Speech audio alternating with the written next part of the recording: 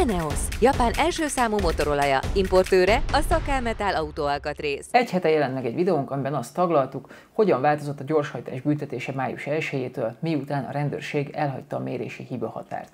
Nézzétek meg, elmondtuk a lényegi változásokat, viszont a témát folytatni kell, hiszen a rendőrség is tisztázott néhány további részletet, valamint én is utána jártam annak, hogy hogyan is zajlik maga a mérés. Iratkozzatok fel, nyomjatok csengőt, lájkot, és már is kezdünk.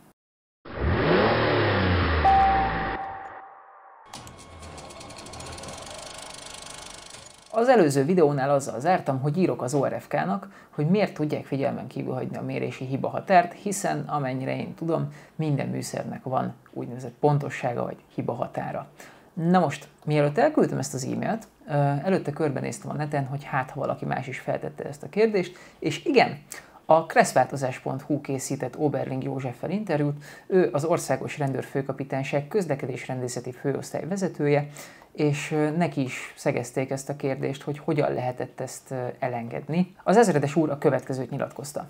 Tévedés van a kérdésben, pont amit sokan félreértenek.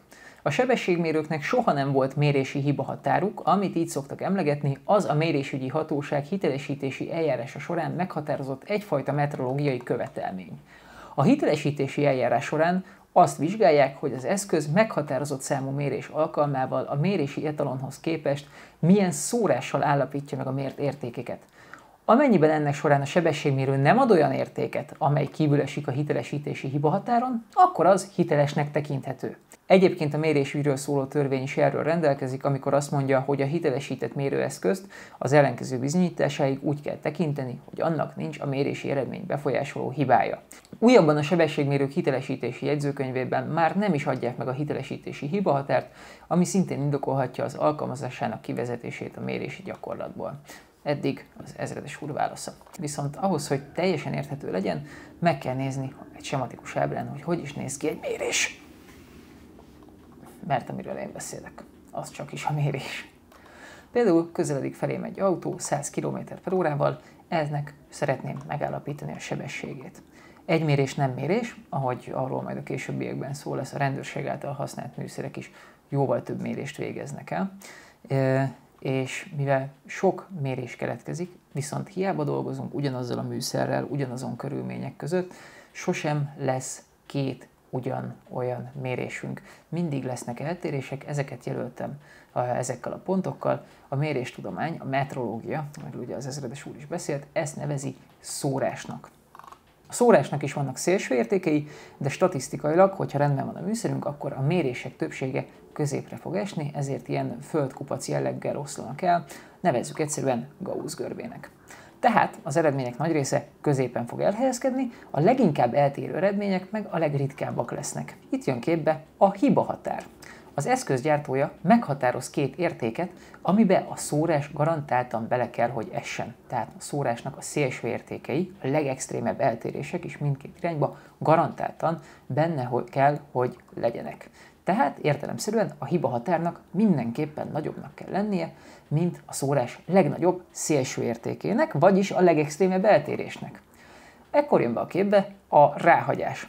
Ez az érték a szórás szélső értéke, valamint a hiba határok között van. Ez egy olyan biztonsági tartomány, amit a gyártó azért csinál, hogy garantáltan ne legyen olyan mérés, ami kiszór a hiba határon túlra már amennyiben minden műszaki, környezeti és üzemeltetési feltétel adott.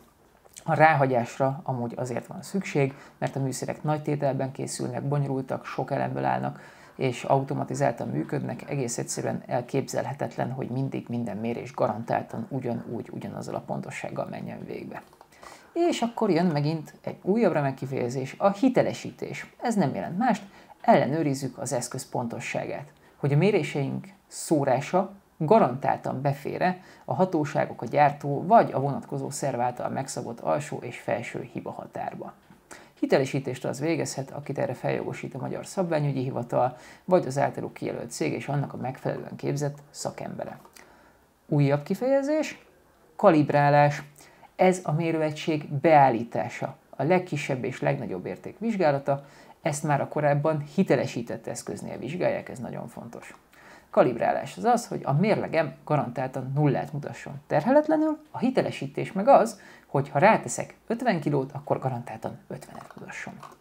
Magyarországon háromféle sebességmérő eszközt használnak. Az egyik az ARH Chem Fix, ezt nevezzük mondjuk védakapunak, a másik pedig az ARH Chem S1, ez a mozgó lézeres távolságmérés elvén működik, lézerimpulzusok sorozatát bocsátja ki, a visszaverődés sűrűségéből és az eltelt időből számolja ki a távolság csökkenését, ebből a sebességet, elhaladásnál pedig a, a távolság növekedését, tehát nyilván ebből is tudsz sebességet számolni, valamint még ismeretes a FAMA 3 típusú eszköz, ami mozgóautóból képes egy másik mozgóautó sebességét megállapítani, de azt most ne vegyük ide, ami nekünk igazán érdekes, az az ARH Chem S1.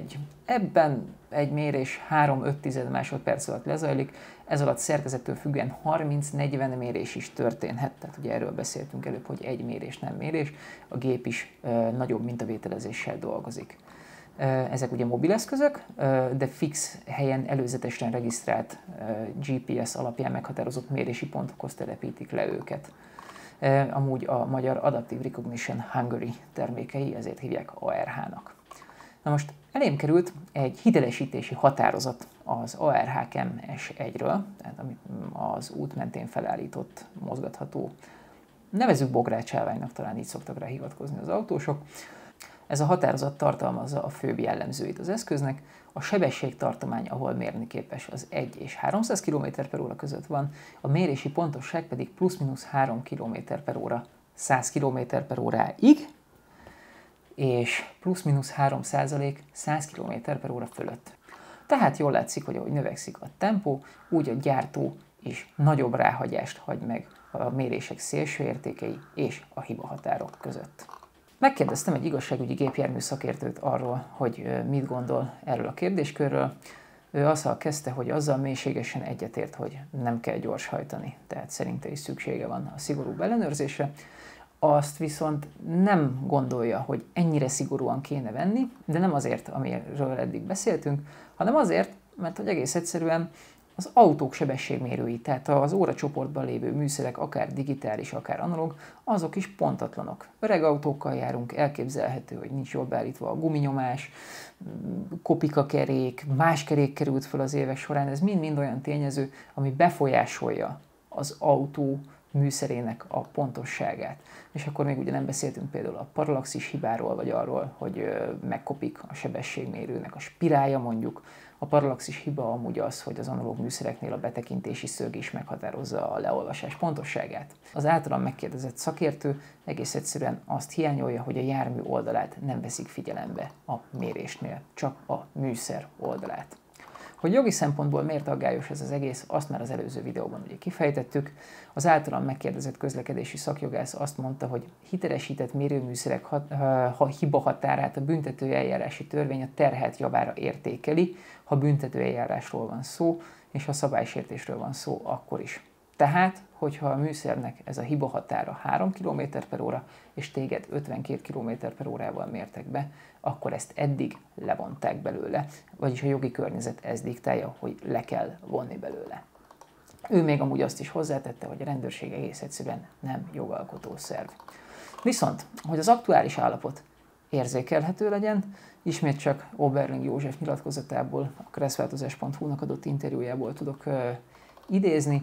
Ő példákat hozott, hogy mi változott meg, és hogyan érthető meg jól ez a, ez a változás. Azt mondta az ezredes úr, hogy május 1 előtt az 52 km per óra mért értékből levontunk 3 km per órát, így a kapott 49 km per óra megállapított sebesség alapján nem követett el szabálysértést a járművezető, így nem is intézkedtünk. Ma, ennél a példánál maradva, a mért sebességen nem változtatunk, ezért a járművezetővel szemben szabálysértés miatt intézkedünk. Nagyon fontos, hogy ahogy arról az előző videóban beszéltünk, itt a rendőr mérlegelhet. Viszont, hogyha mi 151 km óra sebességgel mentünk május 1 előtt, a rendőrség levont 3%-ot, így a megállapított sebességünk 146,5 km óra lett. Ez a túllépés, ha nem történt megállítás, korábban nem volt szankcionálható. Viszont május 1 után, ha mi 151 km per óra sebességgel megyünk, Ezt már nem csökkentik 3%-kal, így ez a gyorshajtás már megállítás nélkül is az objektív felelősség alapján bírságolható 30 ezer forinttal. Szeretném hangsúlyozni, hogy nem kiskapukat és kibúvókat keresünk. Nem szeretnénk, hogy a nézőink azok ilyen 1-2 km per órákon vaciláljanak, hogy most mennyivel is kéne még menni, hogy pont ne büntessenek meg. Menjetek mindig a megengedett sebesség alatt, vagy maximum annyival, közlekedjetek biztonságosan, figyeljetek oda. Hogy ez az ügy hova fog kifutni, azt nem tudom. Ahogy látszik, a rendőrség azt állítja, hogy a műszereknek már nincs ilyen hiba határa, a műszer hitelesítési határozata azt mutatja, hogy van jogszabálymódosítás az ügyben. Nem történt, még mindig van egy csomó-csomó kérdés. Én az elkövetkező napokban ezeknek megpróbálok utána járni, és hogyha érdemi információt sikerül kideríteni, akkor ismét jelentkezünk ebben a témában. Addig is iratkozzatok fel, nyomjatok csengőt, lájkot, hamarosan jövünk egy hagyományos autós videóval.